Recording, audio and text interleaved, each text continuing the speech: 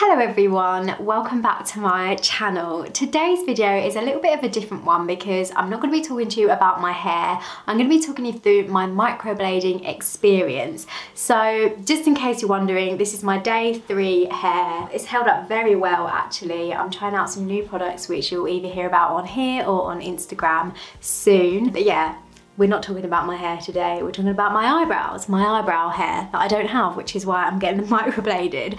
So I have actually previously had my eyebrows tattooed before.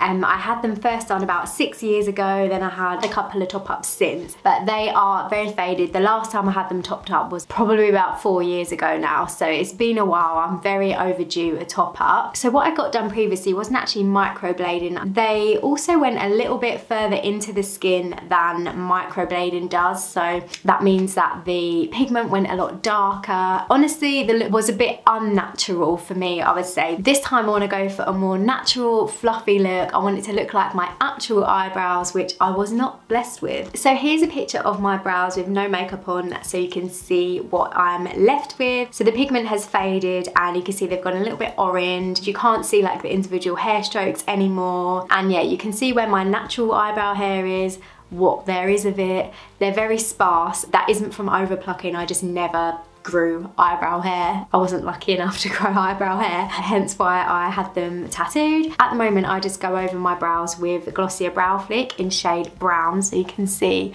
um, I just do the individual hair strokes. So previously, I probably didn't do enough research into the technician and the different types of tattooing and microblading and what the difference is, but this time I found a technician that I really, really love her work. I'm really excited to let her work on me and yeah, I'll put put her details in the description box below. I'm just really looking forward to having my brows redone. I want them to look natural. I'm gonna probably get them a similar color to this. I probably won't be able to take you along with me, but I'll definitely show you as soon as I come out. And yeah, I'll speak to you soon. Ta-da! I have just got back from having my eyebrows done. It is dark outside, so I'm on the ring light, so it looks a bit weird, the lighting. But um, I just wanted to show you these brows. They look so good. Look how natural the hair strokes look. I'm trying to focus it. So natural, the hair strokes. This one is the troublesome brow because the lady that did my brows this time felt like the people that did them previously went a little bit too high on the arch on this side. So she didn't want to go that high. So just because like she wanted them to be even. You can see a little bit of the orange still there. The yellow that you can see, that's just from the pigment from having them done today. I need to clean it off. For the healing process, over the next 10 days, I'm just not allowed to get them wet at all. I don't have to put anything on them. The lady that did them, Heidi, she advocates strictly dry healing. So she doesn't didn't want me to put like any oil or anything on them. Some people asked you to put oil. That's what I had to do before um, the last place I went. Some people want you to put like bepanthen on them, but strictly dry healing is what Heidi has asked. So that is what I'm gonna do. I'm gonna try and like not wash my hair for the next few days. I'm gonna try and stretch it as long as I can basically. So this is day one and I will update you in a few days. Hello, it's now day three. I didn't bother checking in yesterday because to be honest, my brows looked exactly the same as day one. I'm trying not to wear makeup for the first few days just because I find it really hard to take off um, and I really want to try and just look after them as best I can and help them to heal as best I can. So today I've started to notice a little bit of scabbing in the front of my eyebrows. So I'll give you a little zoom in. So you can you might be able to see if I zoom it.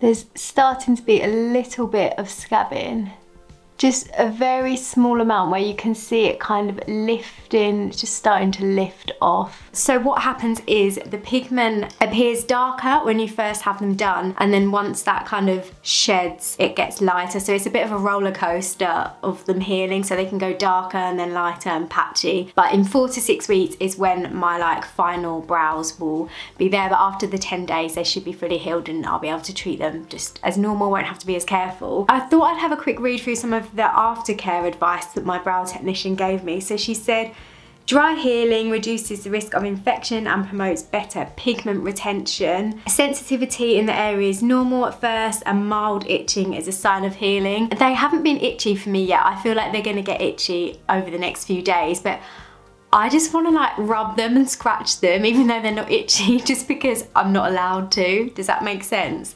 I'm really weird. Something else is clear lymph fluid in the first day is another healthy natural reaction. And I did notice she did say that I had quite a bit of lymph fluid um, after she just did them. And to be honest they were looking a little bit shiny yesterday so I think I had it yesterday as well. But she said to me that if I do have a lot then just kind of dab it with a clean tissue only. And yeah, it just says early on as the pigment sits on top of the skin, your brows will appear darker and the strokes sharper and then they'll settle like during the healing process. So definitely I'm starting to notice some scabbing um, which will then do its thing and fall off and then reveal my new brows. Um, you can see a bit better now on this brow where my previous work was done where Heidi didn't want to go as high. So you can see it there kind of, but I think when I'm stood back, you can't really notice. I think they perfectly frame my face. I'm really, really, really happy with them. Obviously they're a little bit dark at the moment, but they're gonna settle and be a bit lighter. So we'll see,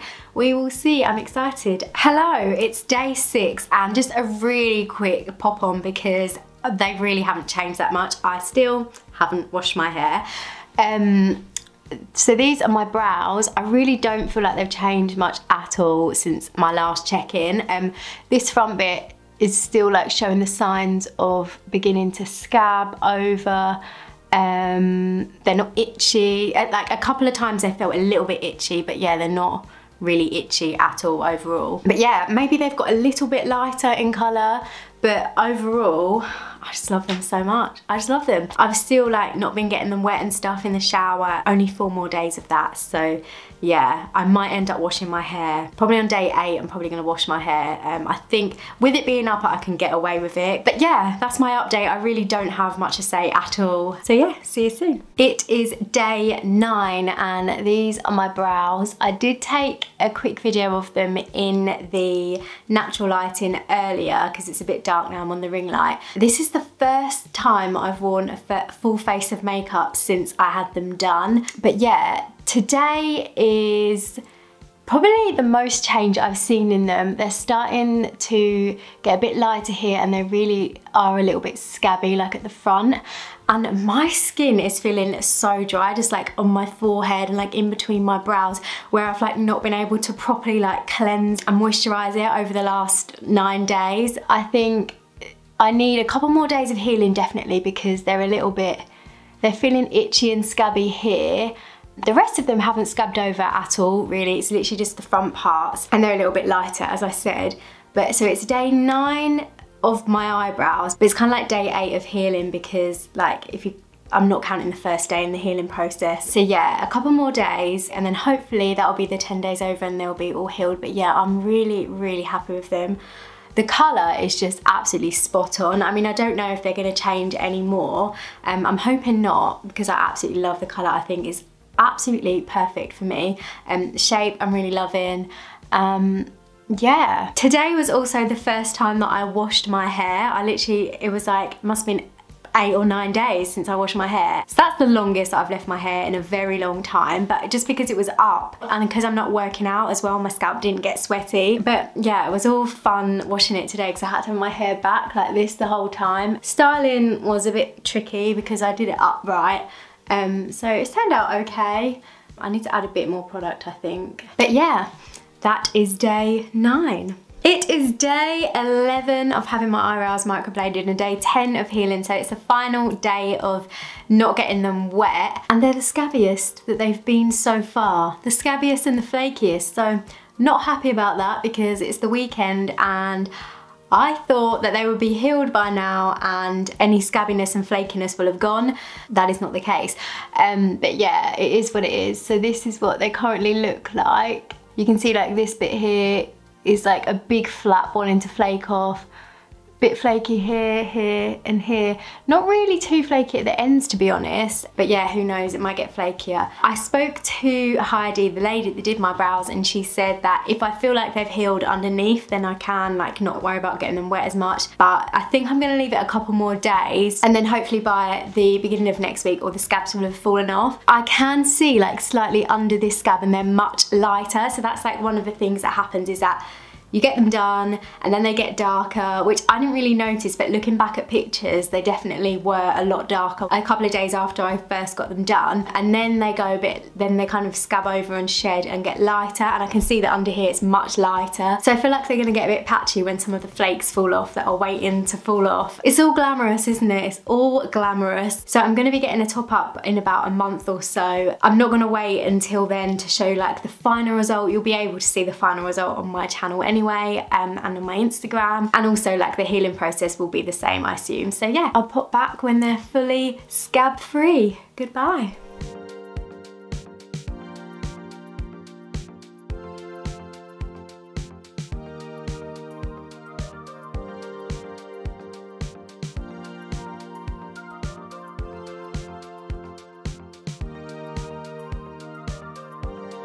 So it's now day 16 and yesterday the final scab or flake, whatever you want to call it, came off of this brow.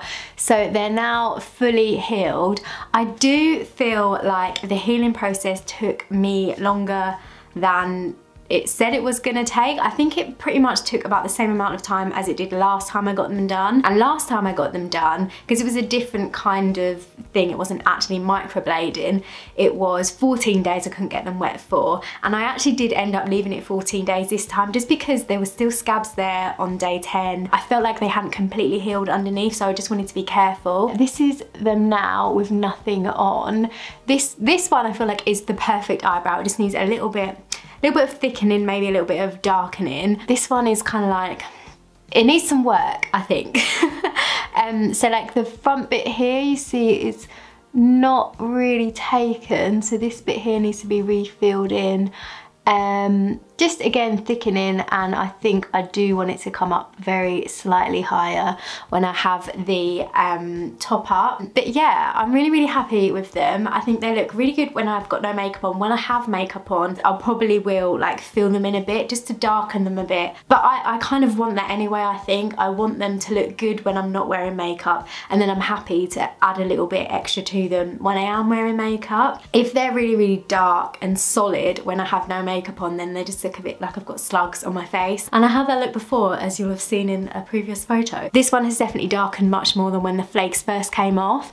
Um, so I'm wondering if this one will maybe start to darken a little bit more. But yes, we shall see. I'll pop back on once more in a few days and give you like the last update. Hello, so it is day 22 of having eyebrows, day 21 of healing, and these are my brows you can see just how natural they look.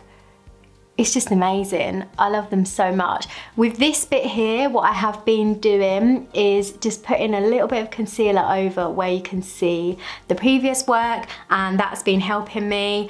I'm really, really happy with them though. You can see like they're a little bit sparse in some areas where they'll just need filling a little bit more, sort of like here and here on this one. But that will all be sorted in the top up that I have in about four or so weeks time whenever I can book it in for. I'm just so happy with them. They look really natural. It's exactly what I was looking for. And yeah, thank you so much to Heidi for giving me some amazing brows. And thank you for following along with the video. I know it's a little bit of a different video for my channel, but I hope that you found it helpful and it kind of gave you a little bit of an insight into the microblading healing process, scabs and all. It really isn't too bad, the healing process, and like the pain of getting getting them done. I didn't really feel much pain either, just a little bit scratchy. And the healing process, it really isn't that bad. It's literally two weeks of your life and it feels annoying when you're in it, but like I've forgotten about it now and it's like the last scab fell off about a week ago. So yeah, thank you so much for watching and I really hope you found it helpful.